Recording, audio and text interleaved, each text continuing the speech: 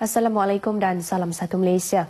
Sebuah syarikat teknologi dari Jepun bersedia menghulur kepakaran kepada Sarawak dalam pembangunan mata wang digital. Menurut Ketua Pegawai Eksekutif CEO syarikat Acrox Japan Incorporated, Keith Wong Wai Kit, syarikat itu menawarkan pelaburan dan pemindahan teknologi dari negara matahari terbit tersebut. So as you see, uh, in the digital economy, there are few uh, very important components. First is the uh, trading platform, and then is the cash payment, the uh, logistic, and finally the digital currency. Beliau ditemui pemberita RTM selepas melakukan kunjungan hormat terhadap Ketua Menteri Datuk Petinggi Abang Johari Tun Oping di Kompleks Dewan Undangan Negeri di Kuching. Kunjungan itu antara lain bagi meningkatkan hubungan perdagangan antara negara Jepun dan Sarawak selain tawaran beralih dari mata wang analog kepada digital seperti Sarawak Pay yang baru dilancarkan. Sebelum itu, Ketua Menteri turut menerima dua kunjungan hormat masing-masing dari Persatuan Kebajikan Tionghoa Islam Sarawak diketuai pengurusinya Haji Muhtada Lau Abdullah dan Kumpulan Sokongan Kanser Payudara Sarawak yang diketuai pengurusinya Datin Juriah Sulehan. Kerajaan Persekutuan telah bersetuju membina 51 unit My Beautiful New Home atau My BN Home di skim penempatan semula Kampung Sibuluh di Bau Kuching. Rumah-rumah itu adalah sebahagian daripada 600 unit My BN Home yang akan dibina di seluruh negara di bawah bajet negara 2018 dengan peruntukan sebanyak 2.2 bilion ringgit. Menteri Kerajaan Tempatan dan Perumahan Datuk Dr. Sim Kui Hian dalam ucapan pengulungannya turut memaklumkan Syarikat Perumahan Negara Berhad SPNB telah meluluskan 705 unit rumah di bawah program Rumah Mesra Rakyat 1 Malaysia RMR 1M di Sarawak tahun ini. Daripada jumlah itu, 270 unit telah disiapkan manakala baki 435 unit akan siap menjelang akhir tahun depan. Sementara itu, sejumlah 632 buah rumah panjang yang terdiri daripada 14,371 pintu telah mendapat manfaat daripada skim pinjaman rumah panjang sejak 1978. Pada Oktober lepas, kementerian telah menerima pembiayaan sebanyak 10 juta ringgit daripada kerajaan persekutuan untuk skim tersebut. Beliau turut memaklumkan kerajaan persekutuan memperuntukkan sejumlah 47.84 juta ringgit untuk tebatan banjir dan 45.29 juta ringgit untuk program pengurusan sungai di Sarawak tahun ini. Peruntukan itu adalah untuk pelaksanaan projek tebatan banjir, pelindungan tebing sungai, projek pasca banjir dan kerja pembersihan dan penyelenggaraan sungai di seluruh negeri. Datuk Dr. Sim turut memaklumkan sebanyak 562 projek infrastruktur dilaksanakan untuk 23 pihak berkuasa tempatan di seluruh negeri tahun ini projek dengan kos keseluruhan 53.97 juta ringgit itu termasuk mengenai taraf lampu jalan, lampu isyarat, laluan pejalan kaki, tandas awam, perpustakaan, jeti dan taman rekreasi. Kementerian Kebajikan, Kesejahteraan Komuniti, Wanita, Keluarga dan Pembangunan Kanak-Kanak akan memberi tumpuan terhadap menangani isu penyalahgunaan dadah dengan lebih sistematik dan berkesan. Menterinya Datuk Seri Fatimah Abdullah memberitahu polis di Raja Malaysia PDRM mengesahkan 20 hingga 30% jenayah harta benda dan 27% daripada keganasan domestik adalah berkaitan dengan penyalahgunaan dadah. Dalam pada itu, kerajaan negeri akan terus memberi fokus terhadap memastikan bimbingan dan didikan awal kanak-kanak di Sarawak adalah berkualiti, holistik dan seimbang dalam persekitaran yang selamat, kondusif dan inklusif. Setakat Oktober tahun ini, sebanyak 1,153 daripada 3,012 buah taska, tabika, tadika dan prasekolah di negeri ini dikendalikan oleh Kemas di bawah tanggungjawab Kerajaan Persekutuan. Dewan juga dimaklumkan program pendaftaran bergerak oleh pasukan petugas khas PPK menerima sebanyak 6,624 permohonan pendaftaran lewat kelahiran dan daripada jumlah itu 4,512 telah diluluskan. Manakala 2,069 permohonan ditolak atas alasan tanpa pengesahan Ketua Kaum dan Masyarakat dan maklumat bercanggah sementara 43 lagi masih dalam pertimbangan. Sebanyak 610 pusat pemindahan dikenal pasti oleh Jawatan Kuasa Bencana Negeri untuk menampung sejumlah 203,960 penduduk terjejas di seluruh negeri. Bagi kawasan yang suka dihubungi, 12 pengkalan harapan diwujudkan untuk menyimpan stok bekalan makanan. Datuk Sri Fatimah Abdullah memberitahu demikian dalam ucapan pengulungan kementeriannya di Dewan Undangan Negeri Petra Jaya Kuching. Kementerian Pendidikan, Sains dan Penyelidikan Teknologi memberi tumpuan kepada mempromosi sains, teknologi, kejuruteraan dan matematik STEM di sekolah-sekolah di seluruh negeri. Menterinya Datuk Seri Michael Manyin Jawong berkata, pendaftaran hanya 23% pelajar aliran sains di sekolah menengah di negeri ini, ia agak merusingkan kerana 80% pekerjaan yang dijana oleh revolusi perindustrian 4.0 akan berasaskan sains dan kejuruteraan. Katanya salah satu faktor penyebab bilangan pelajar yang rendah dalam aliran sains ialah terlalu banyak sekolah kurang murid yang mana subjek sains dan matematik diajar oleh guru kurang berkelaikan dan dalam kes tertentu ada guru terpaksa mengajar mata pelajaran tersebut menggunakan kaedah yang tidak sesuai untuk menarik minat pelajar.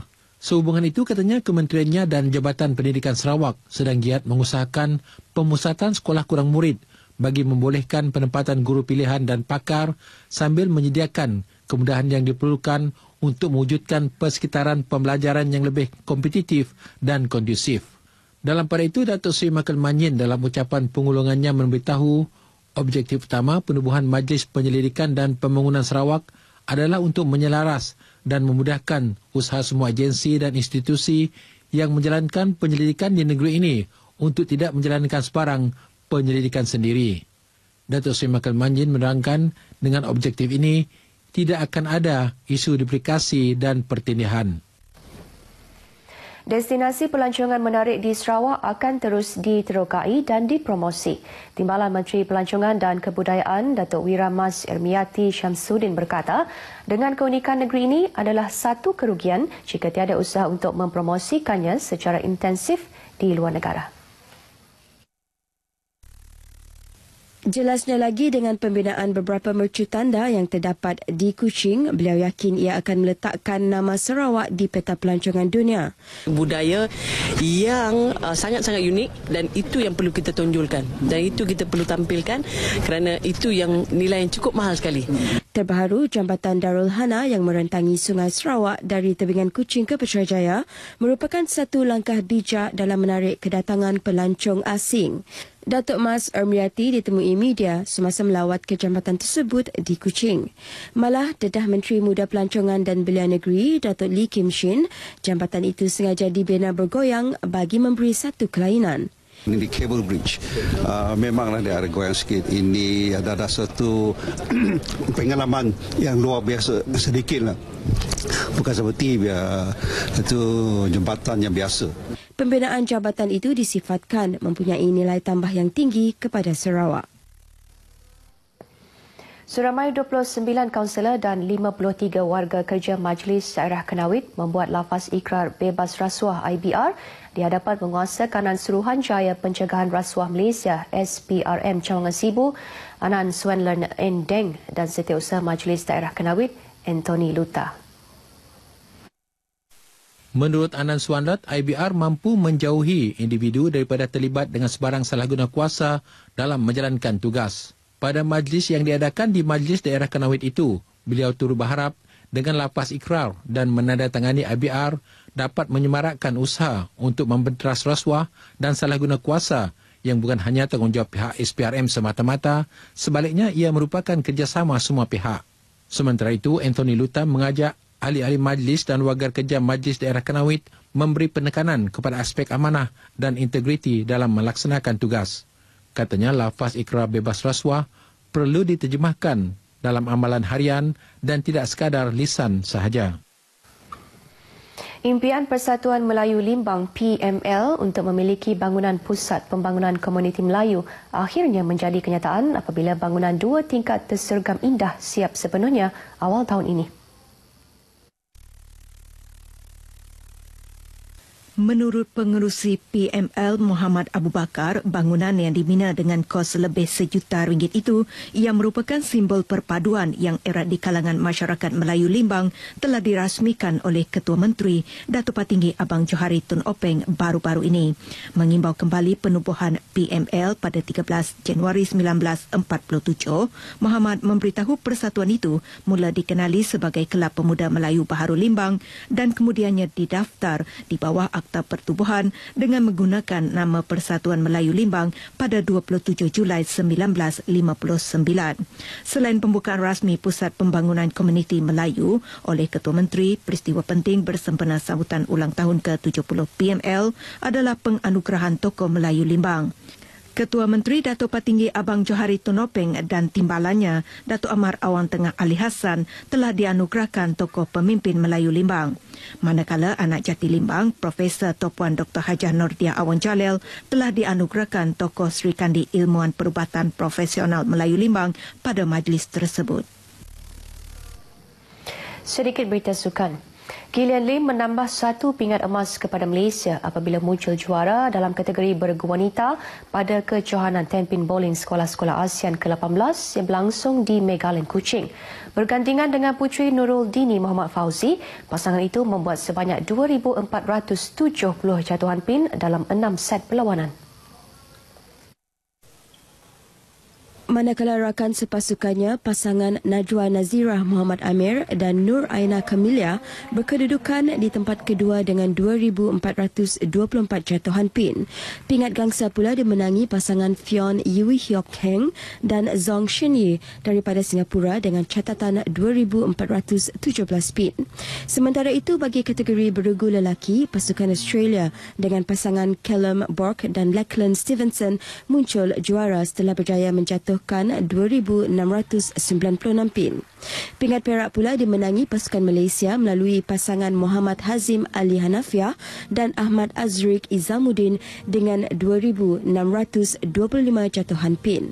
Pasangan Ivan Sir dan Alex Yu daripada Hong Kong pula memenangi pingat gangsa dengan catatan 2,623 jatuhan pin. Sebanyak 10 buah kontijen termasuk Indonesia, Kuwait, Filipina, Arab Saudi dan Singapura berentap dalam kejohanan yang culung kali diadakan di Sarawak itu. Seterusnya kita ke segmen agenda hari ini.